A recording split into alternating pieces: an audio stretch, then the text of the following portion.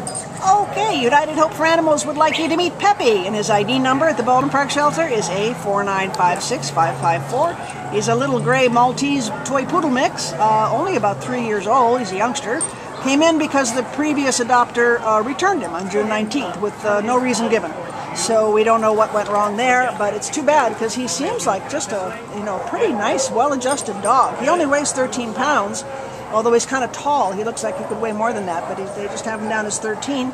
He's very calm and confident, and uh, he, he does okay on a leash, right? He's walking pretty well on a leash. He was, and, uh, definitely he seems well adjusted to the shelter, considering sometimes they're just apoplectic about this place, but he's doing pretty well. And now he's going to go right to sleep. He said, that's, that's a good spot. Just keep scratching and right I think there. he's housebroken. And, yeah, yeah, I'd say Appears so too, since he's peeing everywhere. Yeah, he's, Yeah.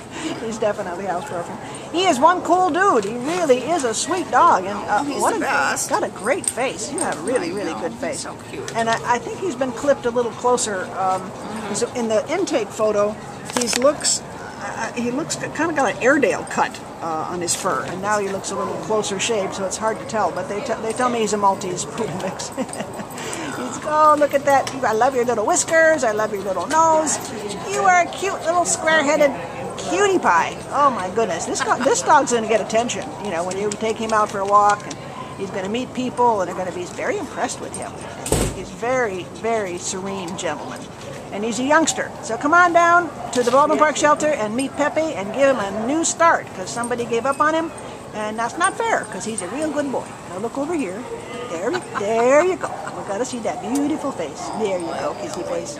Come on down and meet Pepe at the Baldwin Park Shelter. he's to go right to sleep.